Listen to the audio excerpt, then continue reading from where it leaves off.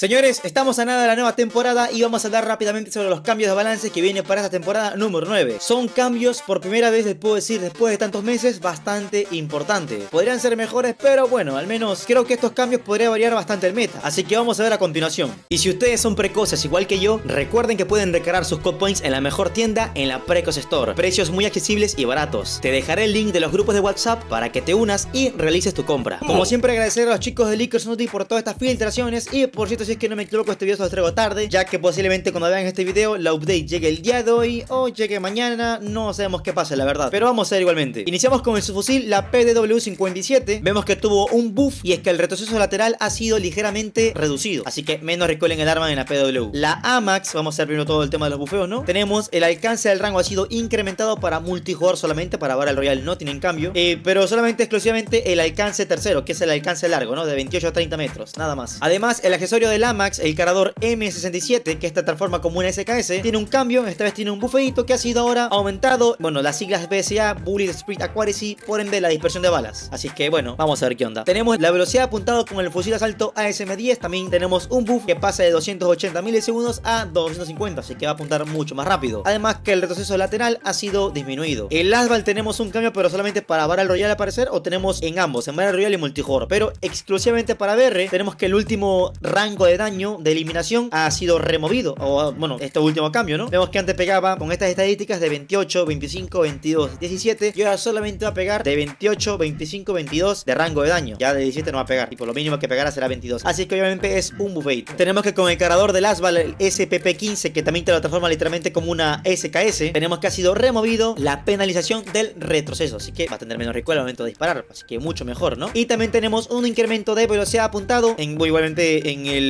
en las siglas BSA, que ya les comenté que era el Bullet Speed Accuracy, y tenemos que ha cambiado de... No sé exactamente cómo son estas siglas aquí, pero ahí por si acaso, si ustedes saben más de esto, en la parte de abajo en los comentarios me ayudarían bastante. Vamos con la Chicom God, la mejor arma de todo con Mobile, ojalá algún día la buffé bastante guapo, pero solamente tuvo un buff pequeño, simplemente ha sido disminuido el recoil lateral, nada más. La Faro solamente tuvo un buff más, pero en el accesorio solamente el teaser, este accesorio que te hace electrocutar con, con esta madre, que pasa de 3 segundos a 2, más rápido el momento de recargar, la velocidad de recarga de este teaser, nada más. La Grau 5.5 creo que esto aquí es el cargador o es un cañón. El Tempus 26.4 Arcángel Barra, creo que es un cañón si es que no me equivoco, en efecto es un cañón. Tenemos que el rango ha sido incrementado de un 35% a un 45%, mucho ojo. Y también tenemos que la velocidad de movimiento al apuntado ha sido disminuido, así que por ende vamos mucho más rápido, de un 15% a un 12%, bastante guapo. Habrá que probarla con los cambios en la versión global. Ahora vamos con el tema de los nerfeos que están bastante importantes para el meta actual. En este caso no me gustó este nerf porque Nacho BK no hace mucho llegó a sorprender en el, en el competitivo y en las ranks recién se empezaba a ver, pero al parecer ha sido nerfeada. Aunque muy importante es solamente el cargador de largo calibre, que por ende es el que más utiliza. Y pasa de 32 balas a 28. Esto me interesa. La Holger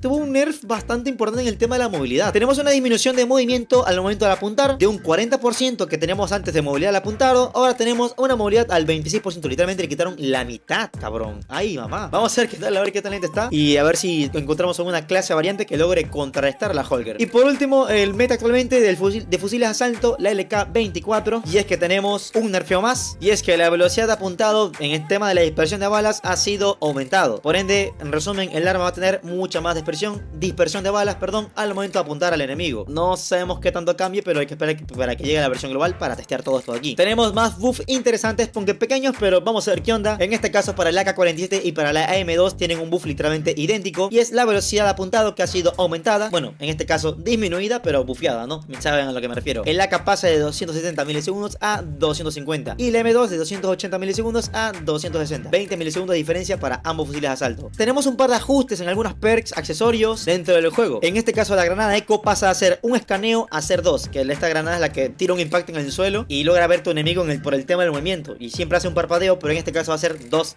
parpadeos o escáner, como le marca aquí en pantalla. Esta, el Spycraft es esta perk verde que tú recuerda que tú puedas hackear las cosas electrónicas del enemigo y volverlas de tu lado. Ahora al parecer ha sido bufeada y va a ser mucho más rápido el tema del hackeo, ¿no? Una torreta enemiga pasa a ser tuya, en este caso, eh, de una manera mucho más rápida. Me gusta esto mucho, ¿eh? Ojito con la ventaja ágil también ha sido ligeramente aumentada, simplemente aumentando la velocidad con esta vaina del ágil. Me interesa mucho esto, ¿eh? La perk de experto en demoliciones, tenemos que ahora ha sido también bufeada y tenemos una explosión de rango mucho mayor de un 25% que ahora pasa a un 30%. El recon, si es que no me equivoco, es el reconocimiento y también tenemos un buff de detección, un buff, perdón, que aumenta la detección, bueno, el rango del rayo de la detección de 5 metros a 7 metros ahora. Y para la gente fanática temática Battle Royale también tenemos bastantes cambios o ajustes en algunas armas. En este caso el M13 pasa un buff directamente con estas características de daño a las que tenemos al ladito. Con el AK bastante similar, en este caso tiene un buff y un nerfeo, así que está ajustada simplemente. El rango del, del AK-117 ha sido aumentado, pero ha sido ligeramente disminuido el tema del aim assist con este fusil asalto. El Shockwave Class, creo que no me acuerdo cómo se llama en español, pero es el, la clase esta que ustedes tienen y pueden hacer rebotar a sus enemigos o algo así, ¿no? Que también tiene un ajuste interesante. La cantidad de recargas después de después de la update va a pasar de 2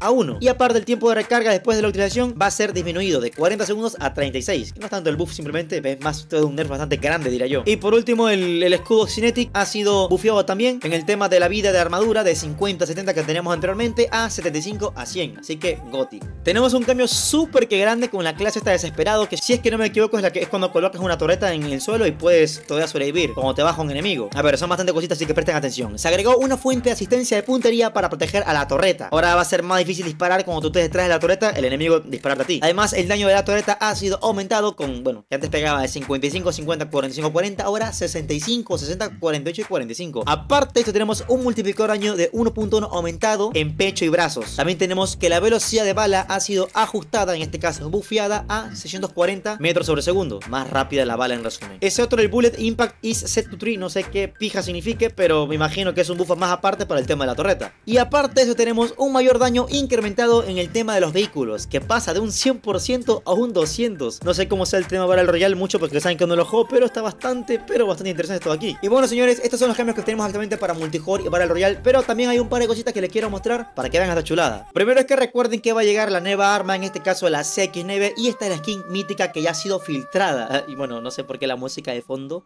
pero así lo está tan la gente de la versión china. Está bastante interesante, bastante chula, obviamente la probaremos cuando llegue la versión global. Gente, para el Tenemos aquí un cambio súper rápido en el tema de la variación de armas, las que se encuentran en el suelo, ¿no? La verdad no sé cuáles eran las anteriores que tenían, pero ahora tendrán estas aquí para ustedes. Y ya tenemos gameplay, o bueno, en este caso filtración de Code Mode versión china de la nueva, bueno, el nuevo subfusil, si es que no me equivoco, pues ya exacto, no recuerdo bien, la CX9. Creo que es un subfusil que es muy similar a la Fene por lo que estuve leyendo. Y bueno, vamos a ver qué tal roto puede llegar acá la versión global. También tenemos nueva rotación de mapas, en este caso para mi ámbito multijugador. Por fin quitaron el mapa de armada, literal es una cagada y nadie lo jugaba. En mi puta vida jugué ese mapa, es horrible, nadie lo jugaba, demasiado grande, eso feo, feo, feo, feo. Para todos los modos de juego que estaba. Y agregaron el nuevo mapa de Kurohama City para Search and Destroy, para Tinted Match, Dominio y Harping. Agregaron nuevamente Apocalipsis, que ese mapa a mí se me gusta, la verdad. Y bueno, no sé por qué quitaron Backhand, porque también me parece chulo, pero bueno, también ha sido removido. Y con la nueva CX9 se está dando mucho y se están, y se están haciendo comparaciones con otros fusiles de asalto y otros fusiles en este caso. Además, la gente que se dedica a esta vaina de las stats dice que puede ser una buena arma meta potencial en el tema del corto alcance. Es más, leí comentarios que puede ser bastante similar a una Fede cuando llegue la versión global. Y por último, ya tenemos la nueva imagen de la nueva temporada que va a llegar. Obviamente, todo esto aquí está mentado por el tema de Halloween. Así es que vamos a ver qué tal, a ver qué tan chulo puede ser esta temporada. Y pues nada más, gente, nada más que decirles. Espero que les haya gustado muchísimo este video. Recuerden, me pueden ayudar con un like de agradecimiento. Y nada, nos veremos en el siguiente video. Recuerden que yo soy Guara y adiós.